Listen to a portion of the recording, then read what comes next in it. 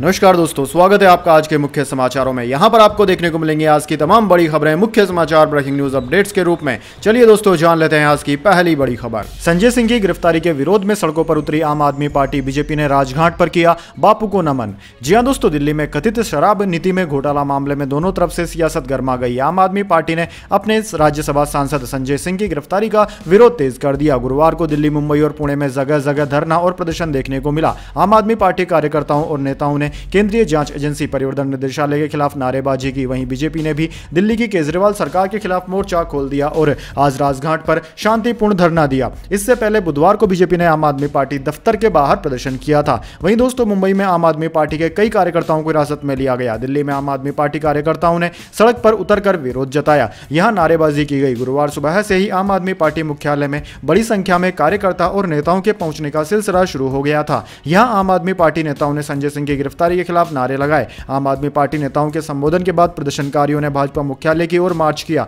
प्रदर्शनकारियों के हाथ में संजय सिंह नहीं झुकेगा और इंडिया के पोस्टर थे। संजय सिंह के पिता भी आम आदमी पार्टी दफ्तर में विरोध प्रदर्शन में शामिल हुए। इसके बाद दोस्तों, अगली बड़ी खबर। सिसोदिया की जमानत पर अब 12 अक्टूबर को सुनवाई। सुप्रीम कोर्ट ने ईडी से कहा, सबूतों की कड़ियाँ जुड़ नहीं रही, आपकी दलीलें सिर्फ़ अनुमान। जी हाँ दोस्तों, दिल्ली शराब घोटाले में गुरुवार को दो मामले कोर्ट पहुँचे। पहला मामला सुप्रीम कोर्ट में दिल्ली के पूर्व डिप्टी सीएम मनीष सिसोदिया की जमानत से जुड़ा था। दूसरे मामले में आम आदमी पार्टी के राज्यसभा सांसद संजय सिंह की दिल्ली के रावल रेवेन्यू कोर्ट में पेशी हुई। मनीष सिसोदिया की जमानत याचिका पर सुप्रीम कोर्ट ने सुनवाई की अगली तारीख बारह अक्टूबर तय की है। दोस्तों, जस्टिस संजीव खन्ना और justice S V N Bhatti की बेंच ने ईडी से पूछा कि सबूतों की कड़ी एक दूसरे से नहीं जुड़ रही आपकी दलीलें अनुमान पर आधारित है, जबकि यह सबूतों पर होनी चाहिए। बेंच ने ईडी से सवाल किया कि सरकारी गवाह बने कारोबारी दिनेश आरआरओ के बयान के अलावा सिसोदिया के खिलाफ सबूत कहाँ है? सिसोदिया को अगर पैसे मिले तो किसने दिया? और यह उन तक कैसे पहुँचा? पैसे देने वाले बहुत सारे लोग हो सकते हैं। ज़रूरी नहीं कि यह शराब से जुड़ा हो। सबूत कहाँ है? वहीं शराब घोटाले में ही ईडी ने दिल्ली की रावल रेवेन्यू कोर्ट में आम आदमी पार्टी सांसद संजय सिंह की दस दिन की रिमांड मांगी। एजेंसी ने कहा कि हमें डिजिटल डेटा निकालना है। इसके बाद दोस्तों, अगली बड़ी खबर। इन्हें मेड इन इंडिया से बहुत परेशानी। कांग्रेस को घेरते हुए जब प्रधानमंत्री मोदी ने किया फ़िल्म वैक्सीन वार का ज़िक्र। जी हाँ दोस्तों, प्रधानमंत्री मोदी ने राजस्थान के मुख्यमंत्री अशोक गहलोत के गढ़ जोधपुर में एक जनसभा को संबोधित किया। इस दौरान उन्होंने गहलोत सरकार पर जमकर निशाना साधा। मोदी ने कहा कि राजस्थान को देश के विकास का इंजन बनाने के लिए भाजपा जनता भारतीय जनता पार्टी संकल्पबद्ध है। पीएम मोदी ने कहा कि कल ही भाजपा सरकार ने तय किया है कि अब उज्ज्वला की लाभांशी बहनों को केंद्र सरकार की तरफ़ से गैस सिलेंडर सिर्फ़ छह सौ में मिलेगा। प्रधानमंत्री ने कहा कि हमें राजस्थान को विकसित बनाना है और आपका सपना ही मोदी का संकल्प है। पीएम मोदी ने आगे कहा कि भाजपा का संकल्प राजस्थान को टूरिज़्म में नंबर एक राज्य बनाने का है। यह काम मोदी नहीं, बल्कि आपके एक वोट से हो सकता है। आपके वोट की ताकत से भाजपा सरकार बनेगी और राजस्थान पर्यटन में नंबर वन बनेगा। पेपर लीक माफिया ने लाखों का भविष्य खराब कर दिया है। चुनाव के समय बेरोजगारी, भत्ता का वादा करने वाले लोगों ने पेपर लीक माफिया के ऊपर पूरी सरकार छोड़ दी है। वहीं दोस्तों, अपने संबोधन के दौरान पीएम ने फ़िल्म वैक्सीन वार का भी ज़िक्र किया। पीएम मोदी ने कहा कि भारत ने मेड इन इंडिया वैक्सीन बनाकर भारत के साथ साथ दुनिया के करोड़ों लोगों का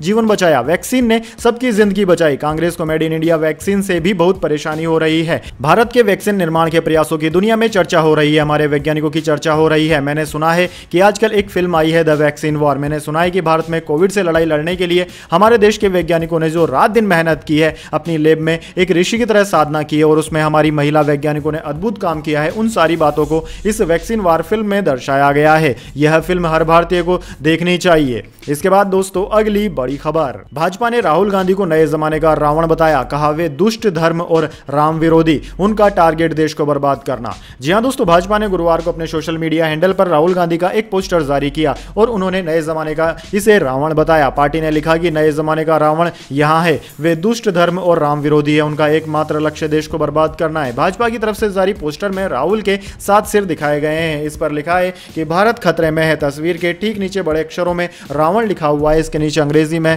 Congress party production direct by George Soros भी लिखा हुआ है। दोस्तों, आपकी जानकारी के लिए बता दें, भाजपा ने आरोप लगाया कि जॉर्ज सोरास के लोग कांग्रेस की भारत जोड़ो यात्रा में शामिल हुए थे। इसके अलावा भाजपा नेताओं ने ओपन सोसाइटी फाउंडेशन नाम के एक गैर सरकारी संगठन, एनजीओ का नाम लिया है। भाजपा नेताओं का दावा है कि यह एनजीओ अमेरिकी अरबपति जॉर्ज सोरास की ओर से वित्त पोषित है और इसके उपाध्यक्ष सलील सेठी कांग्रेस की भारत जोड़ो यात्रा में शामिल हुए थे। इसके बाद दोस्तों, अगली बड़ी खबर। देवरिया हत्याकांड में योगी सरकार का बड़ा एक्शन, एसडीएम, सीओ और तहसीलदार समेत पंद्रह पर गिरी गाज।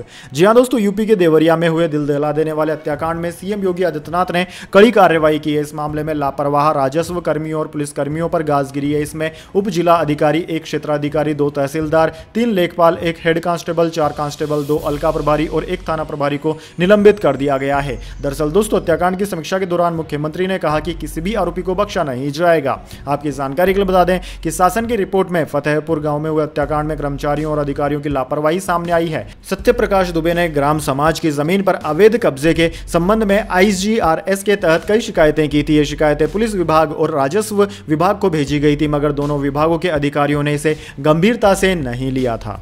इसके बाद दोस्तों, अगली बड़ी खबर। शिखर धवन का आयशा मुखर्जी से हुआ तलाक। कोर्ट ने माना पत्नी ने मानसिक क्रूरता की, बेटे की कस्टडी पर अभी फैसला नहीं। जी हाँ दोस्तों, दिल्ली के एक फैमिली कोर्ट ने बुधवार 4 अक्टूबर को क्रिकेटर शिखर धवन को आयशा मुखर्जी से तलाक की मंजूरी दे दी है। कोर्ट ने माना है कि आयशा ने शिखर के साथ मानसिक क्रूरता की है। कोर्ट ने तलाक याचिका में धवन के आरोपों को इस आधार पर मंजूरी दी कि आयशा ने या तो इसका विरोध नहीं किया या फिर वे खुद बचाव करने में विफल रही। धवन उम्र में आयशा से दस साल छोटे हैं। जज हरीश कुमार ने माना कि आयशा ने धवन को बेटे से एक साल तक दूर रखकर उन्हें मानसिक यातना झेलने को मजबूर किया। हालाँकि कोर्ट ने बेटे की स्थायी कस्टडी पर फैसला नहीं दिया है। धवन भारत और ऑस्ट्रेलिया में बेटे के साथ ज़रूरी वक्त बिता सकते हैं। उससे वीडियो कॉल पर बात कर सकते हैं। कोर्ट ने कहा कि याचिकाकर्ता फ़ेमस इंटरनेशनल खिलाड़ी और देश के लिए गौरव है। अगर वो भारत सरकार से मदद मांगे तो ऑस्ट्रेलिया सरकार से बेटे की कस्टडी या मुलाकात के अधिकार पर मदद की कोशिश की जानी चाहिए। धवन की याचिका के मुताबिक आयशा ने पहले उसके साथ भारत आकर रहने की बात कही थी। हालाँकि बाद में वो अपने पूर्व पति से कमिटमेंट के चलते अपनी बात से पीछे हट गई। इसके बाद दोस्तों, अगली बड़ी खबर। मोदी सरकार की अपील के बावजूद रूस सऊदी की मनमानी बड़ी भारत की मुश्किलें। जी हाँ दोस्तों, कच्चे तेल की कीमतों में लगातार हो रही वृद्धि ने तेल बाज़ार में उथल पुथल मचा दी है। पहले तेल उत्पादक देशों के समूह ओपेक प्लस की ओर से तेल उत्पादन में कटौती, फिर रूस और सऊदी अरब की ओर से तेल उत्पादन में अतिरिक्त कटौती की घोषणा के बाद कच्चे तेल की कीमत में लगभग तीस प्रतिशत की बढ़ोतरी हो चुकी है। भारत अपनी ज़रूरत का सत्यासी फ़ीसदी से ज़्यादा तेल आयात से पूरा करता है। ऐसे में इसका असर भारतीय तेल बाज़ार पर भी पड़ा है। वैश्विक बाज़ार में कच्चे तेल की कीमत नियंत्रण में रहे, इसके लिए भारत सरकार तेल उत्पादक देशों से बातचीत कर रहा है, लेकिन इसका कुछ फ़ायदा होता नहीं दिख रहा है। तेल बाज़ार के दो बड़े दिग्गज, सऊदी अरब और रूस ने बुधवार को कहा कि वे साल के अंत तक तेल उत्पादन में कटौती जारी रखेंगे। दोनों देशों का कहना है कि वैश्विक बाज़ार में तेल की आपूर्ति में कमी और मांग में बढ़ोतरी से तेल की कीमत बेहतर हो रही है। इसके बाद दोस्तों, अगली बड़ी खबर। नॉर्वे के राइटर जॉन फोसे को मिला साहित्य का नोबेल। पहली किताब आत्महत्या पर लिखी कमेटी ने कहा, वे लोगों की अनकही भावनाएँ सामने लाए। जी हाँ दोस्तों, साहित्य का नोबल प्राइज चौसठ साल के नॉर्वे के राइटर जॉन फोसे को दिया गया है। कमेटी ने माना है कि उनके नाटकों और कहानियों ने उन लोगों को आवाज़ दी है जो अपनी बातें कहने में सक्षम नहीं थे। जॉन ने अपने नाटकों में ड्रामा के ज़रिए उन इंसानी भावनाओं को ज़ाहिर किया है जो आमतौर पर ज़ाहिर नहीं की जा सकती, जिसे समाज में टेबू समझा जाता है। जॉन ने अपनी पहली ही किताब में आत्महत्या जैसे गहरे और संवेदनशील मुद्दे पर लिखा था। उनकी मशहूर किताबों में पतझड़ का सपना भी शामिल है। साहित्य में 120 लोगों को यह सम्मान अब तक मिल चुका है। साहित्य में नोबल हासिल करने वालों में केवल 17 महिलाएँ हैं। इसकी वजह से नोबल कमेटी की काफ़ी आलोचना भी हुई है। इसके बाद दोस्तों, अगली बड़ी खबर। इंस्टा, फेसबुक पर देख सकेंगे वर्ल्ड कप के बिहाइंड द सीन्स मेटा ने आईसीसी के साथ पार्टनरशिप की। सुपर 50 क्रिएटर्स को हर जगह मिलेगी एंट्री जी हाँ दोस्तों सोशल मीडिया कंपनी मेटा ने वर्ल्ड कप मैचों से जुड़े बिहाइंड द सीन्स कवरेज के लिए इंटरनेशनल क्रिकेट काउंसिल आईसीसी से आईसीसी के साथ पार्टनरशिप की है। 500 से ज़्यादा क्रिएटर्स मेटा के लिए यह कवरेज करेंगे। इस कवरेज को इंस्टा फेसबुक व्हाट्सएप और थ्रेड्स पर भेजा, देखा जा सकता है। कवरेज के लिए 50 क्रिएटर्स का एक स्पेशल ग्रुप भी होगा, जिसे सुपर 50 के नाम से जाना जाएगा। इस ग्रुप को मैच के पहले और बाद में फ़ील्ड का एक्सेस कमेंटेटरों से बातचीत और एम्बेसडर्स के साथ बातचीत के साथ अन्य चीज़ों की परमिशन भी होगी। कैंपेन में भारत के अलग अलग शहरों के क्रिएटर्स को शामिल किया गया है, ताकि हर एक मैच में क्रिएटर्स उपस्थित रहें और वो अपनी भाषा में इसे कवर कर सके। मेटा ने कहा है कि यह पार्टनरशिप किसी भी आईसीसी टूर्नामेंट के लिए अब तक की सबसे बड़ी क्रिएटर कैंपेन है। इसके बाद दोस्तों, अगली बड़ी खबर। आग से खेल रहे हैं राहुल गांधी। केंद्रीय मंत्री किरण रिजिजू ने बताया क्यों खतरनाक है जितनी आबादी, उतना हक की मांग।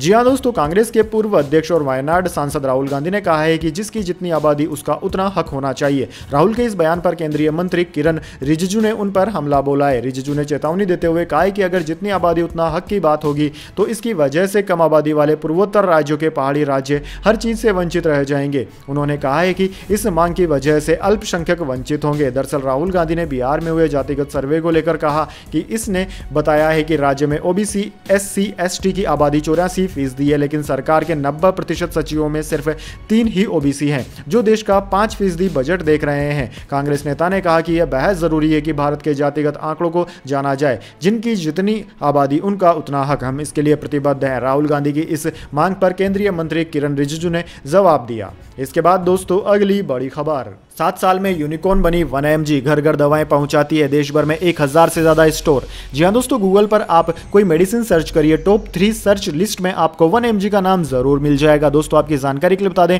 वन एमजी एक यूनिकॉर्न कंपनी बन गई है। यानी कि वन एम ने वह क्राइटेरिया पूरा कर लिया है, जिसके तहत कोई भी कंपनी यूनिकॉर्न बन जाती है। दोस्तों, आपकी जानकारी के लिए बता दें, यह एक ऐसा प्लेटफॉर्म है जहाँ मेडिसिन के कंपोजिशन से लेकर फ़ायदे और नुकसान, हर चीज़ के बारे में डिटेल्ड इन्फॉर्मेशन यहाँ पर आपको मिल जाती है। एक ऐसा प्लेटफॉर्म जो ऑनलाइन के साथ ही ऑफलाइन फार्म्यूस्टिकल मार्केट में लीडिंग पोजीशन पर भी है। इसकी शुरुआत 2015 में हुई थी और 2022 में यूनिकॉर्न यानी कि वन बिलियन डॉलर वाली कंपनी यह बन गई। आज देश भर में इसके एक हज़ार से ज़्यादा स्टोर्स हैं।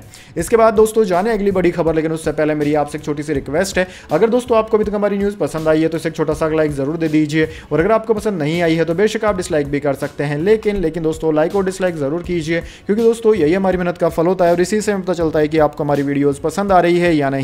तो चलिए दोस्तों, जान लेते हैं आज की अगली बड़ी खबर। सेंसेक्स 405 अंक चढ़कर पैंसठ पर बंद हुआ निफ्टी में भी 109 अंकों की बढ़त आईटी ऑटो और इंफ्रा इंडेक्स में रही तेज़ी। जी हाँ दोस्तों, शेयर बाज़ार में गुरुवार को तेज़ी देखने को मिली। सेंसेक्स 405 अंक चढ़कर पैंसठ के स्तर पर बंद हुआ वहीं निफ्टी में 109 अंकों की तेज़ी रही। यह उन्नीस के स्तर पर बंद हुआ सेंसेक्स के तीस शेयरों में से बीस में तेज़ी और दस में गिरावट देखने को मिली। आज के कारोबार में आईटी ऑटो और इंफ्रा इंडेक्स बढ़त पर बंद हुए बैंकिंग और रियल्टी शेयरों में खरीदारी देखने को मिली। वहीं पीएसयू बैंक फार्मा मेटल शेयरों में दबाव देखने को मिला, जबकि एनर्जी एमएफसीजी इंडेक्स गिरावट पर बंद हुए। वहीं दोस्तों, रुपया अमेरिकी डॉलर के मुकाबले पाँच पैसे कमज़ोर होकर तिरासी रुपए उनतीस पैसे पर बंद हुआ। वहीं दोस्तों, बात करें निफ्टी फिफ्टी के टॉप लूजर और टॉप गेनर स्टॉक्स की तो दोस्तों, निफ्टी फिफ्टी के टॉप गेनर्स में आज बजाज ऑटो एलएनटी और महिंद्रा एंड महिंद्रा रहे, जबकि टॉप लूजर्स में पावर ग्रिड हिंडालको और एनटीपीसी रहे। इसके बाद दोस्तों, अगली बड़ी खबर। संजय सिंह को पाँच दिन की रिमांड पर भेजा गया। सिसोदिया की जमानत पर बारह अक्टूबर को सुनवाई। सुप्रीम कोर्ट ने ईडी से कहा, आपकी दलीलें सिर्फ़ अनुमान। जी हाँ दोस्तों, दिल्ली शराब घोटाले मामले में राहुल रेवेन्यू कोर्ट ने आम आदमी पार्टी सांसद संजय सिंह को ईडी की पाँच दिन की रिमांड पर भेज दिया है। हालाँकि ईडी ने कोर्ट से दस दिन की रिमांड मांगी थी। एजेंसी ने कहा कि हमें डिजिटल डेटा निकालना है। संजय को दूसरे लोगों के साथ बिठाकर पूछताछ करनी है। दरअसल दोस्तों, संजय सिंह को मनी लॉन्ड्रिंग के आरोप में चार अक्टूबर को गिरफ़्तार किया गया था। उधर सुप्रीम कोर्ट में दिल्ली के पूर्व डिप्टी सीएम मनीष सिसोदिया की जमानत याचिका पर अगली तारीख 12 अक्टूबर तय की गई है। इसके बाद दोस्तों, अगली बड़ी खबर। Mahadev online gaming money laundering मामले में रणवीर कपूर ने की आईडी को मेल, मांगा दो हफ़्ते का समय। जी हाँ दोस्तों, रणवीर कपूर का नाम महादेव ऑनलाइन गेमिंग ऐप यानी कि मनी लॉन्ड्रिंग मामले में सामने आया आया था। कहा जा रहा था कि actor Mahadev online gaming app मामले में आरोपी सौरभ चंद्राकर की शादी में शामिल हुए थे। जिन पर हवाला के ज़रिए कई सैलेब को पैसे देने का आरोप लगा है। इस मामले में पूछताछ के लिए रणवीर कपूर को ईडी ने समन भेजा था, जिसका जवाब देते हुए एक्टर ने मेल किया है। रणवीर कपूर ने Mahadev online gaming app money laundering मामले में ईडी से समय मांगा है। उन्होंने दो हफ़्ते के वक्त की मांग की है। ईडी ने रणवीर कपूर को शुक्रवार सुबह 10 बजे हाजिर होने को कहा था। वहीं रणवीर कपूर ने ईडी को मेल लिखकर उनसे दो हफ़्ते का वक्त मांगा। इसके पीछे एक्टर ने पर्सनल, फैमिली रीजन और पहले कर चुके कमिटमेंट्स का हवाला दिया है। रिपोर्ट्स की माने तो Mahadev book app promoter Saurabh Chandrakar की शादी इसी साल फरवरी में हुई थी। इस वेडिंग सेरेमनी में बॉलीवुड के कई सितारों ने शिरकत की थी। सौरभ की शादी दुबई में शाही अंदाज में हुई थी, जिसमें दो सौ करोड़ रुपए खर्च किए गए थे। शादी में कई स्टार्स ने परफॉर्मेंस दिया था। वहीं अब महादेव ऑनलाइन गेमिंग ऐप मामले में रणवीर कपूर का नाम सामने आया है। इसके अलावा कई दूसरे स्टार्स, जैसे Pakistani singer Atif Aslam, Rahat Fateh Ali Khan, actress Sunny Leone, Bollywood singer Neha Kakkar और म्यूज़िक कंपोजर विशाल ददलानी तक का नाम भी इस लिस्ट में शामिल है। इसके बाद दोस्तों, अगली बड़ी खबर। खालिस्तान समर्थक अमृतपाल की माँ ने उठाई नई मांग, कहा, बेटे व साथियों को डिब्रूगढ़ से पंजाब की जेल में किया जाए शिफ्ट। जी हाँ दोस्तों, डिब्रूगढ़ जेल में भूख हड़ताल पर बैठे खालिस्तान समर्थक व वारिस पंजाब दे के मुखी अमृतपाल सिंह की माँ ने अब नई मांग उठा दी है। माँ बलविंदर कौर ने सभी सिख जत्थेबंदियों को निशान साहेब के नीचे इकट्ठा होकर एक साथ अमृतपाल व उसके साथियों की रिहाई की मांग करने को कहा है। इसके साथ ही पंजाब सरकार से अमृतपाल सिंह को पंजाब शिफ्ट करने के लिए भी कहा है। दरअसल दोस्तों, पंजाब में दमदमी टकसाल मेहता से 15 अक्टूबर को खालसा वहीर निकाली जा रही है। ये वहीर दमदमा साहिब से शुरू होकर खडूर साहिब तरन तारन में इकट्ठी होगी अमृतपाल सिंह की माँ ने। इस दौरान अपील की कि उनके बेटे अमृतपाल सिंह व अन्य साथियों को डिब्रूगढ़ जेल, असम से पंजाब की जेल में शिफ्ट कर दिया जाए। इसके बाद दोस्तों, अगली बड़ी खबर। एमपी में ईडी क्यों नहीं आती? व्यापम से लेकर महाकाल कॉरिडोर तक में हुए घोटाले। प्रियंका ने बीजेपी पर कसा तंज? जी हाँ दोस्तों, कांग्रेस महासचिव प्रियंका गांधी वाड्रा ने कहा है कि परिवर्तन निर्देशालय यानी कि ईडी हर जगह पहुँच जाती है, मगर मध्य प्रदेश में इतना घोटाला हुआ, फिर भी यहाँ पर ईडी नहीं पहुँचती। उन्होंने कहा कि एमपी में महाकाल के कॉरिडोर में भी घोटाला हुआ है। बीजेपी की सरकार ने तो भगवान की मूर्तियों में भी घोटाला किया है। प्रियंका ने महँगाई से लेकर गरीबी तक के मुद्दे पर बीजेपी की सरकार को घेरा मध्य प्रदेश के थार में एक रैली को संबोधित करते हुए प्रियंका ने कहा कि मुझे यह सुन के ताजुब हुआ कि प्रधानमंत्री मोदी वही बात कहते हैं जो हम कहते हैं। मैंने एक आदमी से पूछा कि चुनाव में क्या होने जा रहा है, इस पर उसने जवाब दिया कि राजा जा रहा है। कांग्रेस महासचिव ने कहा कि जब से मध्य प्रदेश में बीजेपी की सरकार बनी है, तब से यहाँ पर महँगाई बढ़ी है। गरीब जनता की हालत और भी ज़्यादा खराब होती जा रही है। इसके बाद दोस्तों, अगली बड़ी खबर। संप्रभुता का सम्मान। मालदीव के नए राष्ट्रपति ने भारतीय दूत से पहली मुलाकात में ही दिखाए तेवर। जी हाँ दोस्तों, भारत विरोधी रुख अपनाकर मालदीव के राष्ट्रपति का चुनाव जीते मोहम्मद मुइजू ने एक बार फिर अपने तेवर दिखाए हैं। बुधवार को मालदीव में भारत के उच्चायुक्त मुलाकात के दौरान वर्तमान राष्ट्रपति मोहम्मद मुइजू ने कहा कि मालदीव ने फैसला किया है कि वो अपनी संप्रभुता की रक्षा करेगा और मुझे उम्मीद है कि भारत इस फैसले का सम्मान करेगा। दरअसल दोस्तों, चुनाव जीतने के एक दिन बाद ही उन्होंने घोषणा की थी कि विदेशी सैनिकों को मालदीव से बाहर चला जाना चाहिए। मुइजू का सीधा इशारा भारतीय सेना की ओर था। भारत के पचहत्तर सैन्य अधिकारी मालदीव में रहते हैं, जो भारतीय एयरक्राफ्ट का संचालन और रखरखाव करते हैं। मालदीव में भारत के उच्चायुक्त मुन्नू मोहावर ने बुधवार को मालदीव के नवनिर्वाचित राष्ट्रपति डॉक्टर मोहम्मद मुइजू से मुलाकात की। मुलाकात के बाद मुहावर ने कहा कि मालदीव के राष्ट्रपति मुइजू से मिलकर उन्होंने प्रधानमंत्री मोदी की ओर से बधाई दी है। मुन्नू मुहावर तीसरे उच्चायुक्त हैं। उन्होंने मालदीव के राष्ट्रपति से मुलाकात की। उनसे पहले ब्रिटिश उच्चायुक्त कैरन रोहसलर और चीनी राजदूत वांग लिंगसन ने उनसे मुलाकात की थी। इसके बाद दोस्तों, अगली बड़ी खबर। एमपी इलेक्शन 2023 चुनाव से पहले शिवराज सरकार का बड़ा कदम। सरकारी नौकरी में महिलाओं को 35 फ़ीसदी आरक्षण। जी हाँ दोस्तों, महिलाओं को लेकर सीएम शिवराज सिंह चौहान की सरकार ने एक और बड़ा फैसला किया है। सरकार ने मध्य प्रदेश में महिलाओं के लिए सरकारी नौकरी में पैंतीस प्रतिशत का आरक्षण देने का ऐलान किया है। सरकार ने कहा है कि सीधी भर्ती में महिलाओं को पैंतीस फ़ीसदी आरक्षण मिलेगा। सीएम शिवराज की इस घोषणा के बाद सामान्य प्रशासन विभाग ने नोटिफिकेशन जारी कर दिया है, जिसके मुताबिक वन विभाग को छोड़कर सभी विभागों में महिलाओं के लिए पैंतीस प्रतिशत आरक्षण का फार्मूला लागू होगा। महिलाओं को सशक्त और आत्मनिर्भर बनाने की दिशा में यह शिवराज सरकार का एक और बड़ा कदम बताया जा रहा है। फ़िलहाल महिला आरक्षण प्रदेश में तैंतीस फ़ीसदी ही है। दोस्तों, आपकी जानकारी के लिए बता दें मध्य प्रदेश की शिवराज सिंह चौहान ने चौहान ने विधानसभा चुनाव की तारीखों के ऐलान और आचार संहिता जारी होने से पहले आधी आबादी को साधने के लिए बड़ा फैसला लिया है, जिसके तहत मध्य प्रदेश में महिलाओं के लिए पैंतीस फ़ीसदी सरकारी नौकरी में आरक्षण दिया जाएगा। इसके बाद दोस्तों, अगली बड़ी खबर। बांके बिहारी मंदिर कॉरिडोर को लेकर हाई कोर्ट में फिर हुई सुनवाई। सेवायतों की तरफ़ से दी गई दलीलें। जी हाँ दोस्तों, वृंदावन में बांके बिहारी मंदिर के चारों ओर प्रस्तावित कॉरिडोर मामले की चल रही सुनवाई पाँच अक्टूबर को भी बेनतीजा रही। इलाहाबाद हाई कोर्ट कल छह अक्टूबर को एक बार फिर सुनवाई करेगा। आज की सुनवाई में यूपी सरकार ने अदालत के सामने कॉरिडोर के प्रोजेक्ट रिपोर्ट पेश की। बताया गया कि कॉरिडोर बनाने में करीब ढाई करोड़ रुपए का खर्च आएगा। बांके बिहारी मंदिर के सेवायतों की तरफ़ से भी पक्ष रखा गया। उन्होंने कॉरिडोर निर्माण के लिए चढ़ावे की रकम को देने से इनकार कर दिया। सरकार की दखलंदाजी को भी एक सिरे एक सिरे से नामंजूर कर दिया गया है। अदालत को बताया गया है कि सरकारी फंड से कॉरिडोर का निर्माण हो और बांके बिहारी मंदिर प्रबंधन से चंदे की रकम का हिस्सा नहीं मांगा जाता। अदालत ने नाराज़गी जताते हुए पूछा कि कॉरिडोर का निर्माण सरकार कराए और चढ़ावे की रकम सेवायतें ले। ऐसे में दुर्घटना होने पर ज़िम्मेदारी कौन लेगा? कॉरिडोर निर्माण कराने वाली सरकार सरकार की या फिर चढ़ावा लेने वाले सेवायतों की? अदालत में दोनों पक्षों की तरफ़ से दलीलें पेश की गई। इसके बाद दोस्तों, अगली बड़ी खबर। बिहार के इस कॉलेज का फरमान लड़के लड़कियों को नहीं बैठना है साथ हँसी मज़ाक करने पर नामांकन रद्द। जी हाँ दोस्तों बिहार के एक कॉलेज का अजब गजब फरमान सामने आया है। मामला सीवान ज़िले का है। जेडीएस इस्लामिया पीजी कॉलेज के प्राचार्य ने फरमान जारी करते हुए कहा है कि एक साथ छात्र छात्राएँ बैठे या हँसी मज़ाक करते देखे तो उनका नामांकन रद्द हो जाएगा। इससे संबंधित पत्र बीते मंगलवार यानी कि तीन अक्टूबर को जारी किया गया है। अब पत्र सामने आया है, जिसके बाद इसकी चर्चा पूरे ज़िले में हो रही है। सीवान के जेड इस्लामिया कॉलेज के प्राचार्य इंद्रिश आलम के द्वारा जारी किया गया पत्र सोशल मीडिया पर वायरल हो रहा है। पत्र में लिखा है कि सूचित किया जाता है कि अगर छात्र तथा छात्राओं को साथ में एक साथ बैठे हँसी मज़ाक करते महाविद्यालय परिसर में देखा जाएगा तो उनके नामांकन को रद्द कर दिया जाएगा। ज्ञातों की धारा उनतीस व तीस के अंतर्गत स्थापित यह एक अल्पसंख्यक महाविद्यालय है। इसके सारे प्रबंधन का अधिकार शासी निकाय में निहित है। दोस्तों, इस खबर के बारे में आपके विचार कमेंट बॉक्स में ज़रूर लिखिए। तो दोस्तों, यह थी आज की तमाम बड़ी खबरें। इसके बाद दोस्तों, बारी आती है आज के माइंड क्यूज क्वेश्चन की। जी हाँ दोस्तों, एक आसान से सवाल का जवाब देकर आप जीत सकते हैं एक अमेजिंग सरप्राइज़ गिफ्ट हमारे यूट्यूब चैनल की ओर से।